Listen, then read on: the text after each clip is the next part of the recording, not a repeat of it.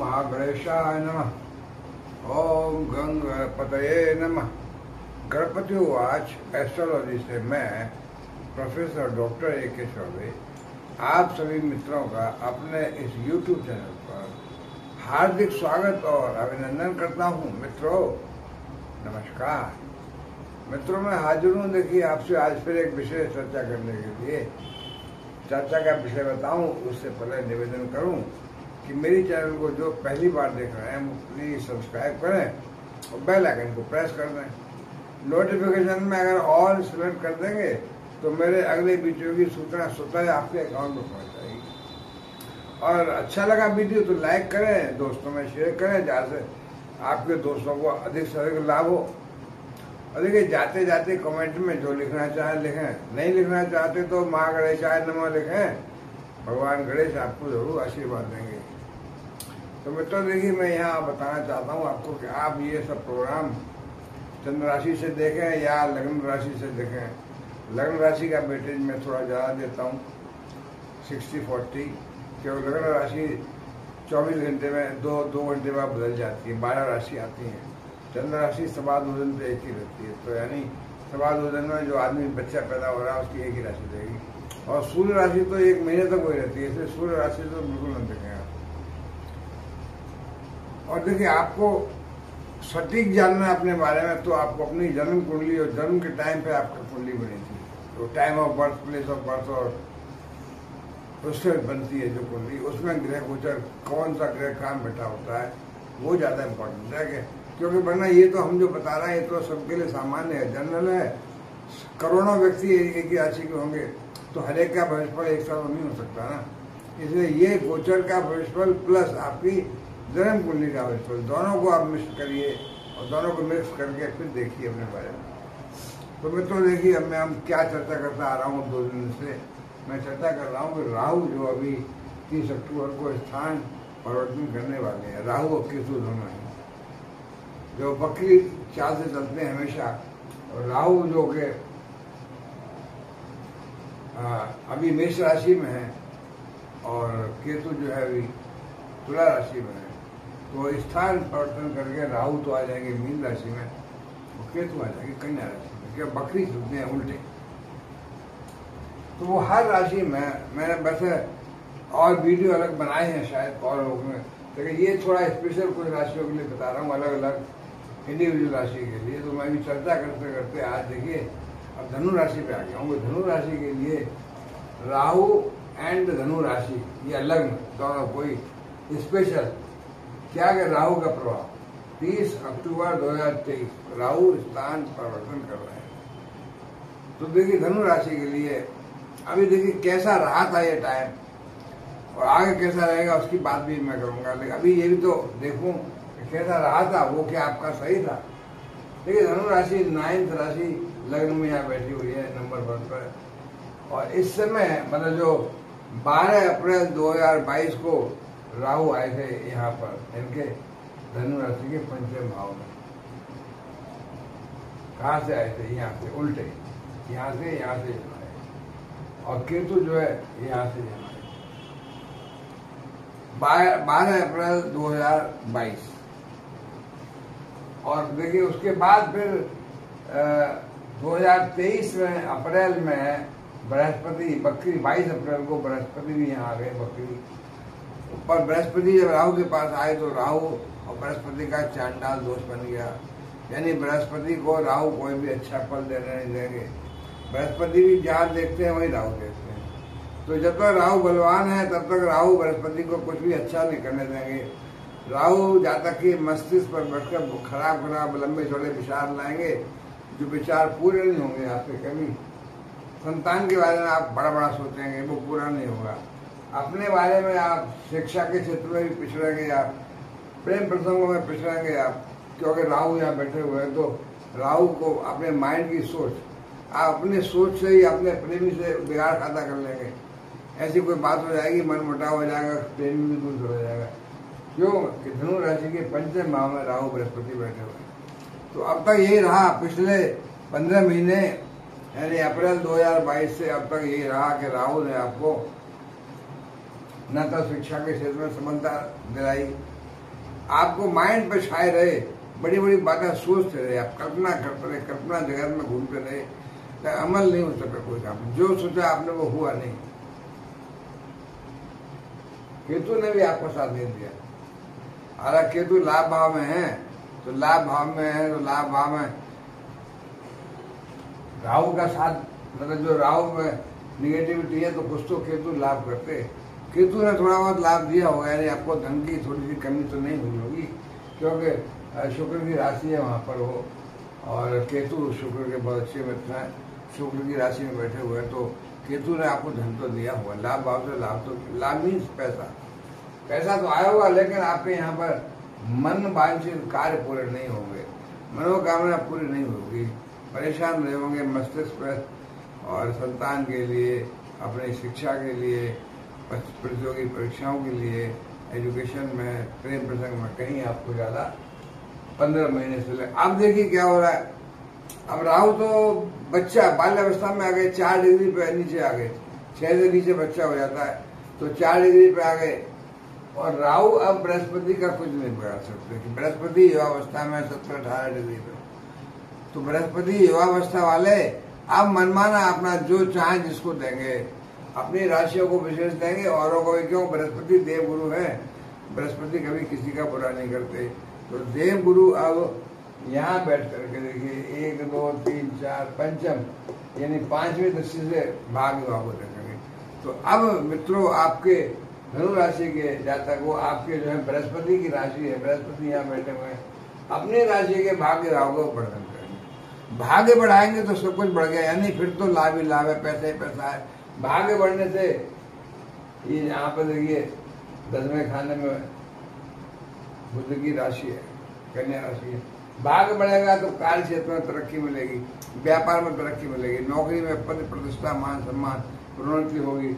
भाग्य बढ़ेगा तो सब कुछ मिलेगा। यहाँ देखिए, पिता का अच्छा सहयोग मिलेगा। पिता का बिज़नेस में पार्टनरशिप कर सकते हैं। पिता के बिज़नेस को आप संभाल सकते हैं। और देखिए, यहाँ से बड़ी बड़ी यात्राएँ होंगी, धार्मिक यात्राएँ होंगी। आपका धनु राशि वालों के रुझान, आपका मन, आपका चित्त जो है, धार्मिक अनुष्ठानों में ज़्यादा लगेगा। धार्मिक यात्रा करेंगे और विदेशी यात्रा भी करेंगे। सात, आठ। विदेशी यात्रा करेंगे बड़ी बड़ी दूर की यात्रा करेंगे। बृहस्पति के यहाँ बैठने से ही। और बृहस्पति यहाँ बैठे हैं तो अब यहाँ दृष्टि पड़ रही पूरी। कहाँ पर? ग्यारहवें भाव में तो बृहस्पति धन लेंगे। अब जो है, बाकी तीन महीने जो बचे राहु के तीस अक्टूबर तक, यानी अगस्त, सितंबर, अक्टूबर, पूरा टाइम राहु तो अब शक्तिहीन हो गए।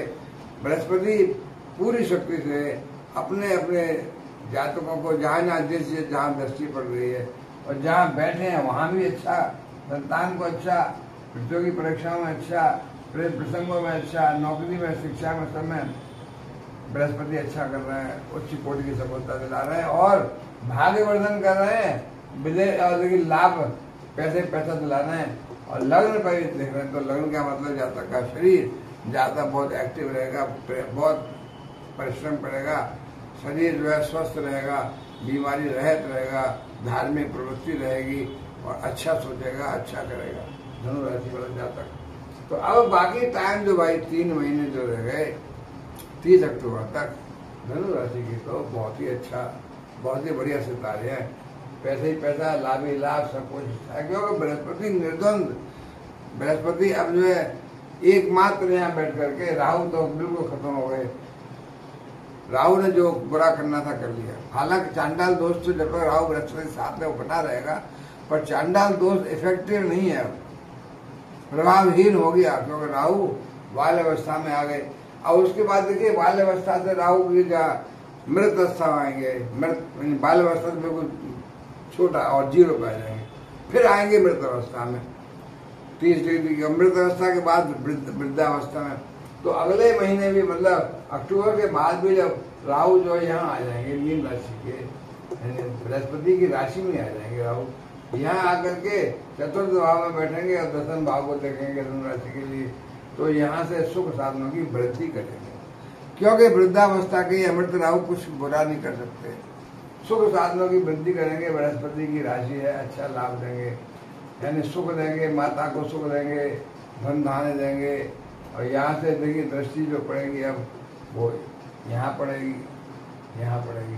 तो कर्म स्थान में तरक्की, कर्म स्थान में व्यापार में ट्रेडिंग में, नौकरी में पार्टनर्स के बिज़नेस में सब में बृहस्पति यहाँ राहु जब यहाँ आ जाएँगे तो बृहस्पति की राशि में बैठ करके सब कुछ बढ़िया बढ़िया, क्यों? बृहस्पति की राशि है दोनों। यहाँ से दृष्टि पड़ेगी, यहाँ पर भी, और यहाँ पर प्रदेश भाव पड़ेगी। सातवीं दृष्टि आठ नवी दृष्टि तो देखिए ये ये रही पांचवी दृष्टि हुई है नहीं नवी दृष्टि ये रही सातवीं दृष्टि तो यहाँ से राहु जब यहाँ आ जाएँगे तो यहाँ बैठ करके यानी यहाँ से अगले अठारह महीने, कब से? तीस अक्टूबर के बाद अठारह महीने। क्यों राहु अठारह महीने बाद स्थान हो सकते हैं। तो अब यहाँ धनु राशि के लिए तो भाई, कर्म क्षेत्र में, व्यापार में, नौकरी में, विदेश में राहु की रस्सी जाती है। विदेश तो ज़रूर भिजवाएँगे धनराशि वालों को। विदेश में कोई काम है आपका तो आपकी तरक्की है। विदेश में व्यापार है, नहीं है तो आप व्यापारी हैं तो व्यापार विदेश में आपका एस्टैब्लिश हो जाएगा। विदेश में आपका घर बन जाएगा विदेश में आप रहेंगे और विदेश में रहकर अच्छी सफलता प्राप्त करेंगे। बृहस्पति की पूरी कृपा मिलेगी आपको। शनि की देखिए कृपा मिल रही है शनि यहाँ भाग भागो देख रहे हैं। बृहस्पति अभी जो भाग को देख रहे हैं। आगे फिर यहाँ कर्म भाव को देखेंगे ये भाव देख रहे हैं, फिर इस भाव को देखेंगे तो मित्रों, अभी जो है, अगले तीन महीने तो बृहस्पति राहु के साथ पंचम भाव में बैठकर धनु राशि की बल्ले बल्ले कर रहे हैं, बहुत सुख साधन दे रहे हैं, पैसा दे रहे हैं भाग्य वर्धन कर रहे हैं, नौकरी में तरक्की दे रहे हैं। और उसके बाद में जब बृहस्पति, राहु जब यहाँ आ जाएँगे, बृहस्पति तो खैर आगे बढ़ेंगे बाद में यहाँ पर एक मई के बाद बृहस्पति यहाँ आ जाएँगे। तो फिर बृहस्पति यहाँ से भी विद्युत भाव को देखेंगे। बृहस्पति विद्युत भाव को देखेंगे, बड़ा ज़बरदस्त। यहाँ से एक, दो, तीन, चार, पाँच छः सात। और राहु यहाँ से सात, आठ, नौ, नवी दृष्टि देखेंगे। तो बृहस्पति की सातवीं दृष्टि और राहु की नवी दृष्टि विदेश भाव को देखेगी। तो विदेश भाव से तो भाई आगे आने वाला समय बहुत ही बहुत ही ज़्यादा लाभ देगा आपको। विदेश जाना चाहते हैं, जाइए। धनु राशि वालों, आप विदेश में जाइए। विदेश में पैसा कमाइए, व्यापार से, नौकरी से। क्योंकि बृहस्पति भी यहाँ आ जाएँगे आगे। मई में, मई से यहाँ और राहु यहाँ आ जाएँगे। राहु की सातवीं दृष्टि और बृहस्पति की, सॉरी, बृहस्पति की सातवीं दृष्टि और राहु की नवी दृष्टि। बारहवें भाव पड़ेगी तो बारहवें भाव से आपको विदेश से लाभ मिलेगा। लग्न पर राहु की दृष्टि अभी पड़ रही है। और देखिए, बृहस्पति यहाँ आ जाएँगे तो बृहस्पति की दृष्टि जो है यहाँ पड़ेगी सातवीं और यहाँ धन भाव पड़ेगी। तो अगले टाइम में जब राहु जब यहाँ आ जाएँगे और बृहस्पति यहाँ आ जाएँगे तो धनु राशि के तो बहुत ही ठाट हो जाएँगे, यानी धन भाव में बृहस्पति की दृष्टि पड़ेगी, धन तो आ ही जाएगा।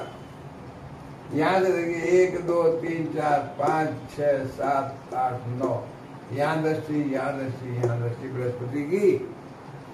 तो भाई लोगों, बृहस्पति की कृपा होगी आगे और राहु की कृपा होगी। राहु की कृपा अठारह महीने तक, अक्टूबर के बाद और बृहस्पति की कृपा एक साल तक, मई के बाद, मई से मई लगा लेगी।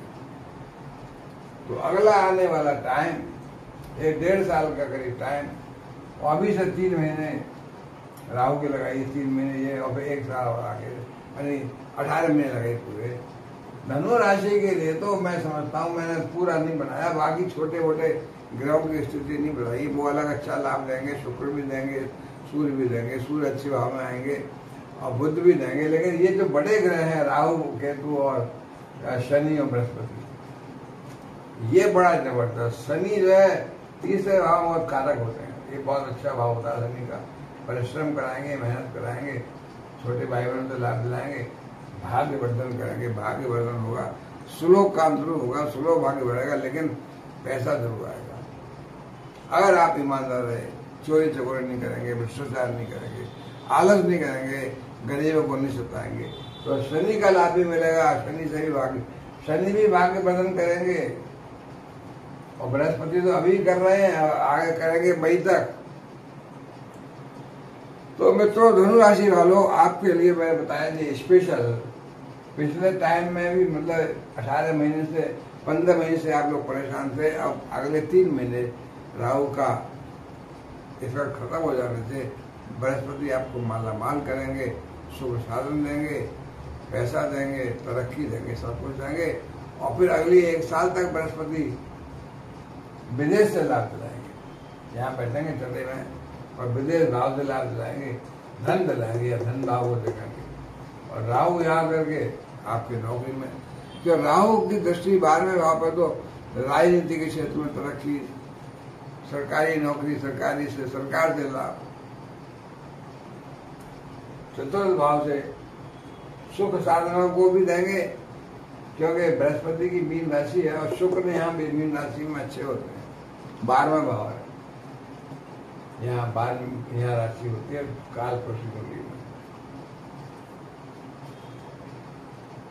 लाभ शुक्र मतलब लगने से ग्यारहवा तो शुक्र ग्यारहवा लाभ लाभ का भाव बढ़ जाता है।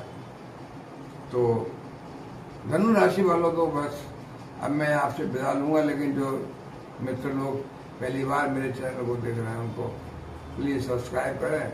कमेंट में महागणेश आय नवा लिखें। और आराम करें मित्रों नमस्कार।